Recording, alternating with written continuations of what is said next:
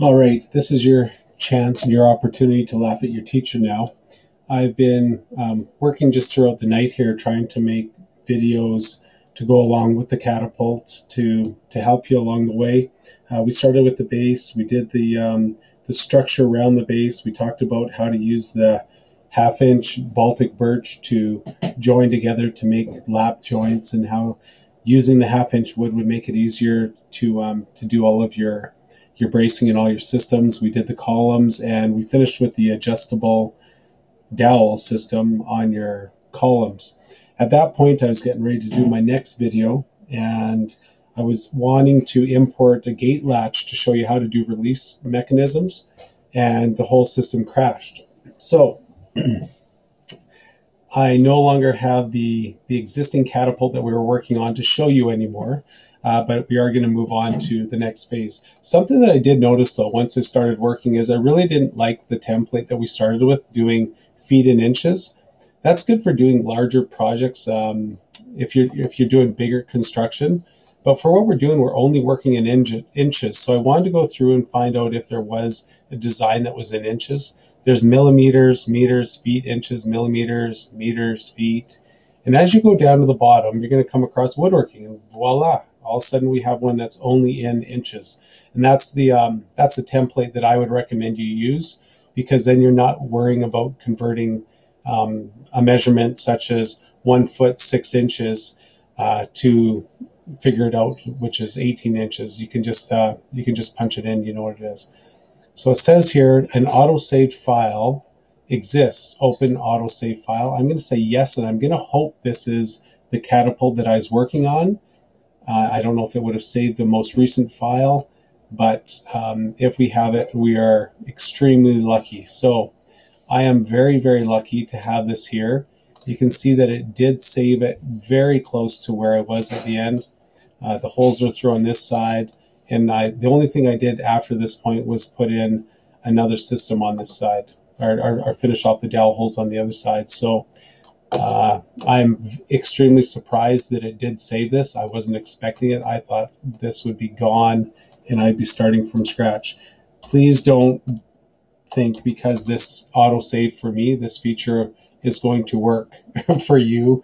Um, I'm not going to rely on it. I'm going to save it again right away. As soon as I finish making these dowels, I'm going to save it and I will be back with another episode to show you how to do your release mechanism. So this ended up being a very short video. I was going to show you the release mechanism here. I am now ready to go celebrate because I have all my work back and um, it was a lesson learned, but I didn't uh, I didn't really get punished for it. How about that? So I have the two systems in. You can see that I have the adjustable dowel system. I am now going to save my work. You know what I'm going to do for this video? I'm actually going to show you the difference between saving work, saving video, and saving images. So I am going to make this a worthwhile view for you. When you go to save this, uh, you're going to go ahead and save this as a SketchUp model. So that means it is not, it's, it's built and it's a CAD design that you're saving um, for use in the future. So we're not done using it or working with it. We can go back and make adjustments to it. So I'm going to go ahead and save it in my documents. Uh, so I'm going to go ahead now and save it. And now I have it. So when I want to go back, I can open up the Catapult um, SketchUp or file, and I can make changes um, as need be. So there it is. And the next thing I want to do is I want to show you that um, at some point you're going to want to take pictures of your finished project. So it would be a good idea to put all your measurements in. It would be a good idea to color code it.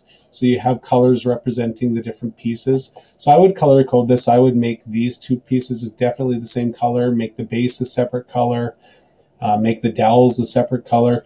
So you can see all the different parts, especially when you go to make your material list. It's nice to see them and you can see how everything goes together. It makes it easier when you go to do the build. The other thing that you need to do though is you got to take some pictures of this. Maybe it's good to take them along the way or maybe you make changes. This is all proof of the learning that takes place when you're making your catapults.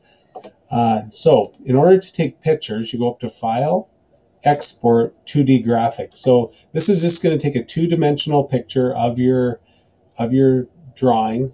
So right now, that's the exact picture that it's going to take. And I don't really like that. I think it's too far away. So I'm going to cancel out and I'm just going to get it a little bit closer and do the same photo over again. So I'm going to go ahead and go export 2D graphic. And this is going to be um, catapult um, base. So I'm going to go ahead and put in the base and click export.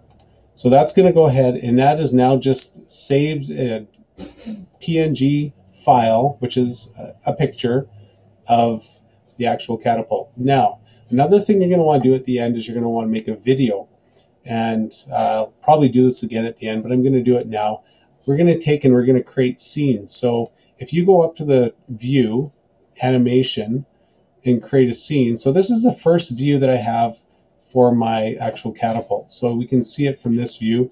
Now I can go ahead and I can make some different views. So I could change it and go from the other side and I could create another view. So I'm going to go here and I'm going to add another scene so we can see that side of it. Maybe I want a scene where I could see from the top so we can see how those how those how that dowel system works.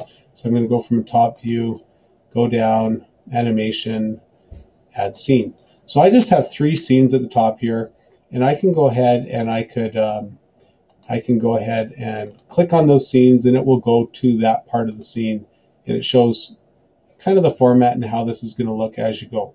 So this is a great way of showing joinery, how the different pieces of wood fit together. Yours will be all color coded. You can zoom in on your arm. You can zoom in on your release mechanism. You can zoom in on the holder that holds your marshmallow in place.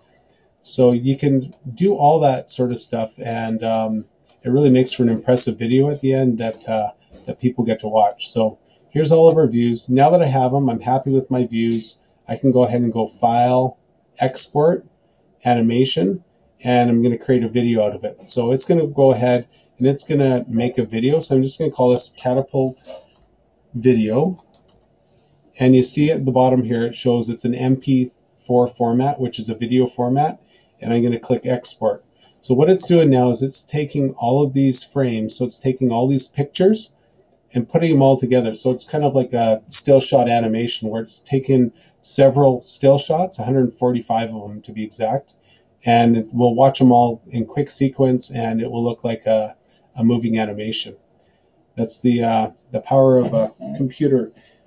At one point we used to have to do all these drawings by hand and um, the students were exceptionally good with their their drawings, but you could only get three, probably three different views of your catapult when it was done, and you could it was very difficult to make modifications or changes. So having the ability to use SketchUp to make your um, computer-aided design drawings is it's um, has its benefits for sure.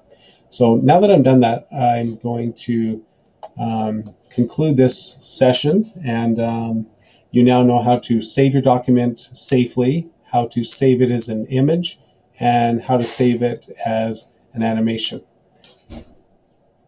Until next time.